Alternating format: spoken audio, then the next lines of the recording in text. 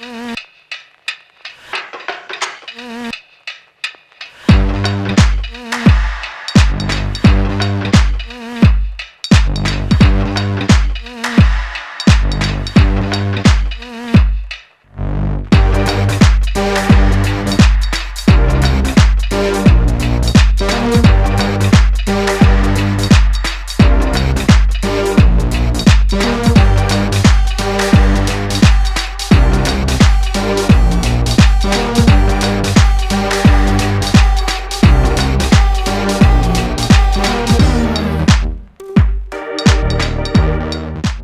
Sir இப்போ பஜாஜ் வண்டி சேலுக்காக வந்திருக்கீங்க.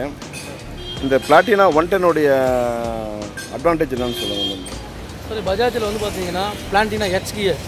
H gear அப்படின்னா ஹைவே கியர் ம். ஒன் டென் சிசி சார் இது இது பார்த்தீங்கன்னா இந்த மற்ற எந்த ஒரு கம்பெனியும் பார்த்தீங்கன்னா ஒன் டெனில் வந்து எக்ஸ்ட்ரா கியர் வந்து இது வரைக்கும் வந்து லான்ச் ஆகலை. ஸோ முதல் முறையாக பஜாஜில் வந்து ம். ஃபஸ்ட் டைம் வந்து இந்த ஹெச் கியர் வண்டி இன்ட்ரடியூஸ் பண்ணியிருக்காங்க. ஐ மீன் எப்படின்னா ஒன் டென்லேயே வந்து அஞ்சு கீர் வர மாதிரி. ஆமாம் அஞ்சு கியர்னு சொல்ல முடியாது. ஹெச் கியர் ஹைவே கியர்னு சொல்லலாம். எக்ஸ்ட்ரா கியர் இப்போ டாப் அண்ட் டாப் எக்ஸ்ட்ரா கியர்னு சொல்லலாம். ஸோ இது எதுக்காக நம்ம யூஸ் ஆகுதுன்னா long drive long drive for example நம்ம ஒரு நாளைக்கு இரநூறு கிலோமீட்டர் முந்நூறு கிலோமீட்டர் வண்டி ஓட்டுறோம் டிரைவ் பண்ணுறவங்க இருந்தால். ஸோ இந்த வண்டி ரொம்ப கம்ஃபர்டபுளான வண்டி. எதனால சொல்கிறேன் அப்படின்னா ஸோ லாங் டிரைவ் போகும்போது உங்களுக்கு பேக் பெயின் ஷோல்டர் பெயின் வராது. இதில் சேகப்ஸ் பார்த்தீங்கன்னா ஹைட்ரஜன் சேகப்ஸ் கொடுத்துருக்காங்க. இந்த சேகப்ஸ் ஆகுது பார்த்தீங்கன்னா ஸோ எந்த ஒரு பள்ளமேட்டிலும் எந்த ஒரு குழி பள்ளத்துலையும் போகும்போது நம்ம பாடி வைப்ரேட் வந்து அந்த அளவுக்கு கம்மியாகும். மேபி இப்போ வந்து தேர்ட்டி இயர்ஸ் அபோவ் இருக்கிற எல்லாருக்குமே வந்து இந்த பேக் பெயின் வருது. கட்டாயமாக இப்போ இருக்குது. எதனால அப்படின்னா லாங் டிரைவ் பண்ணுறாங்க குறைஞ்சது பார்த்தீங்கன்னா ஒரு நாளைக்கு முந்நூறு கிலோமீட்டர் வண்டி ஓட்டுறாங்க. ஸோ அதனால் அவங்க பேக் பெயின் வந்து ரொம்ப கஷ்டப்படுறாங்க.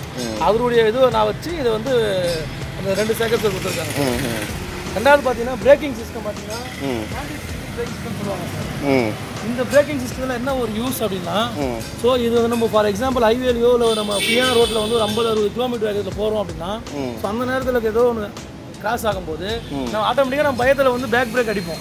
ஸோ அந்த மாதிரி பேக் பிரேக் நம்ம அப்ளை பண்ணும்போது வண்டி ஸ்கிட் ஆகி கீழே வந்து நிறைய சான்சஸ் இருக்குது ம். ஸோ இந்த ஒரு பேசிக் பிரேக்கிங் சிஸ்டத்தினால என்ன ஆகுதுன்னா நம்ம பிரேக் பண்ணும்போது போத் சேம் சேம் வந்து ஃப்ரண்ட் பிரேக்கும் வந்து அப்ளை ஆகுது. ஈவனாக வந்து ஸோ அதனால் வந்து நம்ம ஸ்கிட் ஆக தவிர்க்கிறதுக்கு நம்ம கையில் மூணாவது கம்ஃபர்ட் சீட் சார் மற்ற சீட்லாம் பார்த்தீங்கன்னா உங்களுக்கு டேங்க் பெட்ரோல் டேங்க்லேருந்து நம்ம உட்காரதுக்கு பார்த்தீங்கன்னா ம். கொஞ்சம் ஹைட்டாக இருக்கும். ஸோ அதுவே வந்து நம்ம பேக் பெயின் வந்து காரணமாக இருக்கலாம். ஸோ இது வந்து பார்த்தீங்கன்னா சீட்டோட மாடலிங் இந்த சீட்டோட டிசைனிங் பார்த்தீங்கன்னா ஸோ இந்த லைன்ஸு. ஸோ இதனால் வந்து நம்ம புஷன் வழிக்கு முன்னே போகாமல் இருக்குது grip-ஆ இருக்கும். கிரிப்பாக கொடுத்துருக்காங்க. ஸோ ரெண்டாவது பார்த்தீங்கன்னா ஃபுட்வேர் பாருங்க. நார்மல் வந்து ஹேங்கிள் பார்ல கொடுக்காம நல்ல பட்டியான ஒரு நல்ல ஒரு தரமான ஒரு ஃபுட்வேர் கொடுத்துருக்காங்க. ஃபேமிலியோட போகும்போது அவங்க பிடிக்கிறதுக்கும் உட்காரதுக்கும் ஈஸியாக இருக்கும். ஸோ காலை வச்சு உட்காரதுக்கு ட்ரைவ் பண்ணுறதுக்கு ஈஸியாக இருக்கும். ஸோ இதில் வந்து ரெண்டு பேர் ஒரு ஃபேமிலியோட ஒரு ஜேர்னிக்கு வந்து நல்ல அருமையான வண்டி சார் மூணாவது பார்த்தீங்கன்னா ரெண்டு டயர் வந்து டியூப்லெஸ் டயர்ஸ் டியூப்லெஸ் டயர்ஸுங்களா ஸோ திடீர்னு பென்ச்சர் ஆகிட்டு ஹைவேல பென்ச்சர் பென்ச்சர் கடை இருக்காது. ஸோ ஹைவேல வந்து பென்ச்சர் ஆயிடுச்சு அப்படின்னா ஸோ நம்ம ரெண்டு கிலோமீட்டர் மூணு கிலோமீட்டர் வந்து நம்ம பென்ச்சர் கடைக்கு போய் போட்டுக்கலாம். ரெண்டுமே டியூப்லெஸ் டயர் ஸோ டிஜிட்டல் இது பார்த்தீங்கன்னா digital full and full so gear shift கைடுன்னு சொல்லுவாங்க. நம்ம வந்து எந்த கியரில் போகிறோன்றது வந்து ஆட்டோமேட்டிக்காக இண்டிகேட் காமிச்சிடும் ஃபார் எக்ஸாம்பிள் வந்து இப்போ நாற்பது கிலோமீட்டர் வேகத்தில் நம்ம போகிறோம் அப்படின்னா அஞ்சாவது கிலோ போ நாலாவது கிலோ போகும்போது இந்த கியர் வந்து இந்த கிலோமீட்டர் வேகத்துக்கு தகுந்தது இல்லைன்னு சொல்லிட்டு ஏரோ மார்க் காமிச்சிடும் ஸோ இண்டிகேஷன் வந்து ஏரோ மார்க் கீழே காமிக்கும். ஸோ அப்போ நம்ம கியர் மாற்றிக்கலாம் இல்லை நம்ம ஸ்லோவாக போகலாம் ஆனால் மூணாவது கிலோ போனால் கியர் அதிகமாக போடுங்க அப்படின்னு காட்டும் அப்போ நம்ம வேகமாக போயிடலாம் ஸோ இந்த கியர் ஷிஃப்ட் கைடு மாதிரி நம்ம கரெக்டாக ஃபாலோ பண்ணி வண்டி ஓட்டினா 90 kilometres mileage for litre so உங்களுக்கு இதில் பார்த்தீங்கன்னா ட்ரிப் மீட்டர் இருக்குது ஃபார் எக்ஸாம்பிள் இங்கேருந்து நீங்கள் ஒரு ஒரு முந்நூறு கிலோமீட்டர் போகிறீங்க எந்த எத்தனை எத்தனை மணி நேரத்தில் போகிறீங்கன்னு சொல்லிட்டு மீட்டர் நம்ம ட்ரிப் பண்ணி வச்சுக்கலாம். டைமிங் இருக்குது செட்டிங் சிஸ்டம் இருக்குது ஃபியூல் இண்டிகேஷன் பார்த்தீங்கன்னா உங்களுக்கு வந்து ஒரு லக்ஸரி காரில் எப்படி இருக்கும்? ஸோ அந்த ஒரு சிஸ்டம் வந்து இது டூ வீலர் இருக்குது லக்ஸரி கார்ஸ்லலாம் வந்து ஃபியூல் சிஸ்டம் வந்து பாயிண்ட் பாயிண்ட்டாக வரும். ஸோ அதே மாதிரி இந்த இந்த இருக்குது